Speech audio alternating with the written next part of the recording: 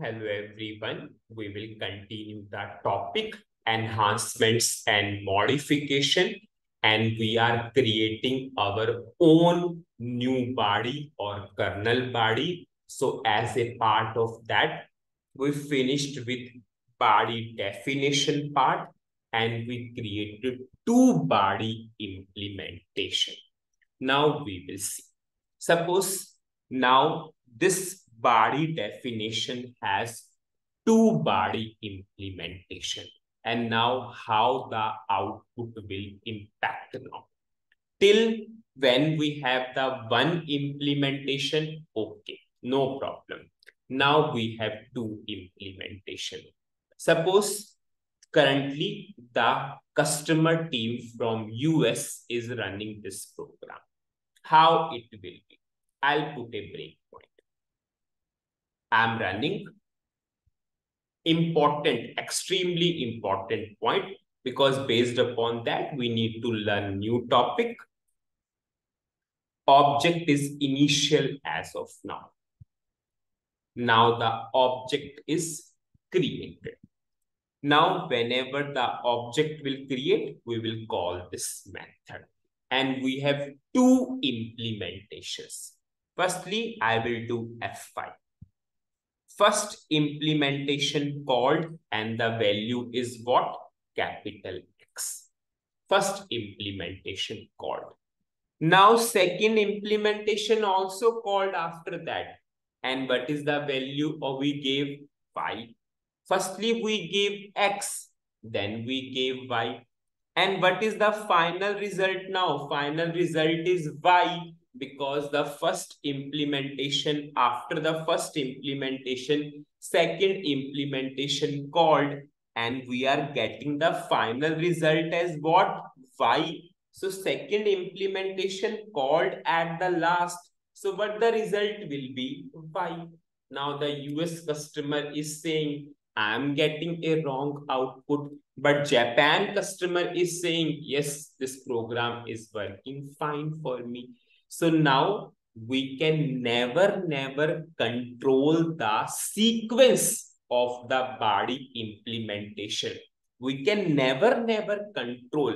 Now the question comes, if we can never control the sequence, but how we can make this program to work for the US customer, it should give the value X for the customer team of Japan region, it should give the value Y. So what is the solution for the same? Extremely important concept from the interview perspective. Anyone who is conducting the interview on BADI topic, they will definitely ask this question. Now, how we can go for the filtering of implementations the most important word is filtering, filtering. And I'm using the word filtering of implementation. It means whenever US customer team is running, yes, at that time, we should only, only go for which implementation? First implementation. Whenever Japan customer team is running, at that time we need to call which implementation only? Second implementation. It means we are calling a dedicated implementation. We are filtering a dedicated implementation. So how we will achieve that concept?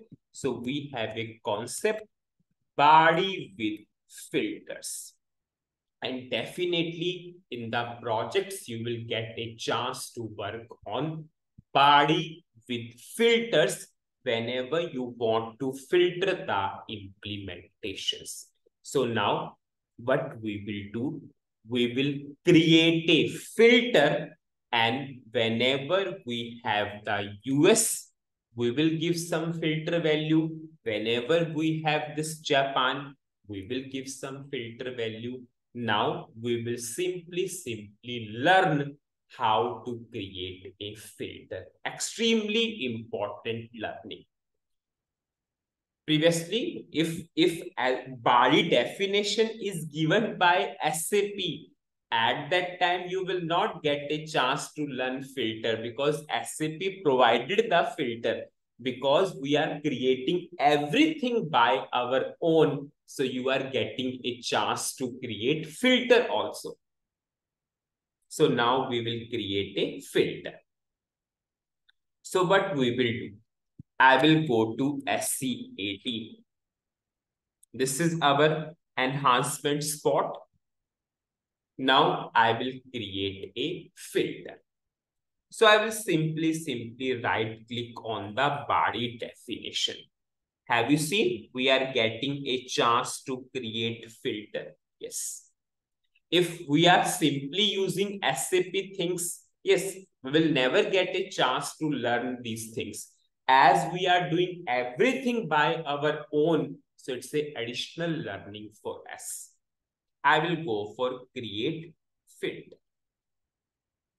Now I will give some filter name. You can give any filter name. It is totally, totally your wish. Suppose I'm saying filter name is Z filter.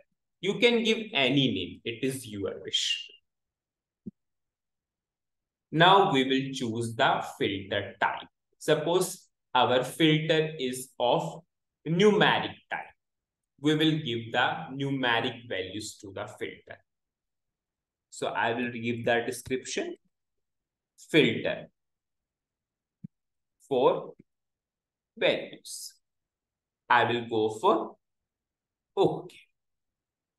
Now I will simply, simply activate the enhancement spot because I did the changes we created the filter. Now we have the filter. Now we have how many implementations? We have two implementations. So we will assign one value to the first implementation, one value to the second implementation. So I will simply, simply click on to implementations. You can go through SE19 also, not an issue. But from SE18 itself, we have an option to navigate to implementations. This is our first implementation. This is our second implementation. So I will go for first implementation. I will go for filter values. Now I will simply, simply double click now we will go for filter values.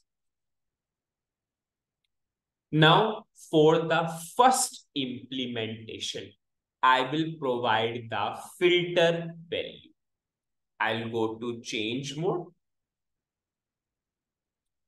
Now I will click on to combination. This part is very important to see because maximum mistake will be done here itself. I will again show you suppose so that there will not be any mistake. You can simply, simply click on to first implementation. Previously, by mistake, I clicked on to filter value. Just you can remove, you, there's no need to click on into this simulate filter value. Just firstly click on to first implementation. You will get a chance, you will get filter value go to change mode, click on to filter values. Click on to combination. Now click on to this button. Click on to this button. Now, what is our filter? Z filter. For the first implementation, we will go for filter is equal to 1. Because we, this is the way, because we need to filter the implementation. So we need to give some value to the filter. So for the first filter, we gave the value 1 and you took a numeric filter type. So we need to give the numeric value. I'll go for OK. Once I will do the second implementation, it will give you more clarity. I'm activating. I'll go to back. Now I will go to second implementation. I will go to change mode. Okay. I'll just see. I think it's already open. I will close. Yes, it is already open somewhere. Now I will open here. Now I will click on to filter values. I will click on to combination button. I will click on to this button. Now for the second implementation, suppose I'm going for value is equal to 2. I'll go for OK. Now I will activate the second implementation also. So what is the summary of the video up to this level? We now we have the two implementations. Now those implementations are calling one after the another. Then what is happening? If US customer team is running, that is also getting the result by and thus Japan in anyways working fine. Suppose think you have 10 implementation. It means those 10 implementations will call one by one and whatever the last implementation will call, it will override the result of all nine implementation. But this is not real project. If we have the customer office in 10 different location, so every location might want a different result. So at that time, we need to filter the implementations. Means for this particular region, only this implementation will call. For this particular region, this implementation will call. So SAP is saying, okay, I'm providing you a filter concept. Just use that filter concept.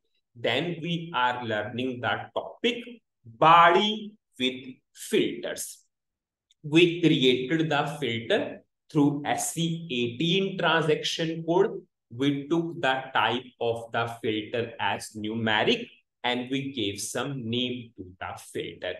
Then we went for the two implementations.